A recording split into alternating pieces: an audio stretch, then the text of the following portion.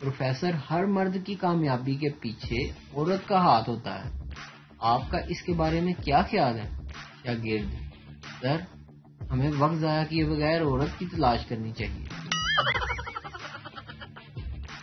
कुछ रिश्तेदारों के साथ मेरा बहुत उठना बैठना है। जब वो उठते हैं तो मैं बैठ जाता हूँ, और जब वो बैठते हैं तो मैं उठ जाता हूँ।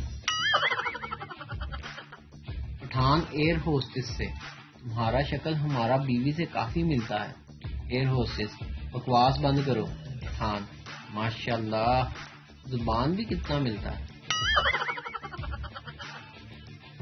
अकलमंद औरत वो है जो अपने शोहर का खर्चा करवा करवा कर ऐसी हालत कर दे कि वो कभी किसी दूसरी औरत को लाने का सोच भी ना सके।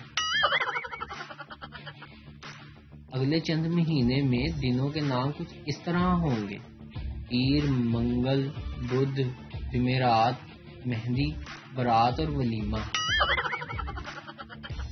कहाँ हैं वो अजीम लोग जिन्होंने बचपन में गुब्बारे फटने के बाद इसकी निकी निकी चूसियाँ बना के दूसरों के सर पर फोड़ी हैं?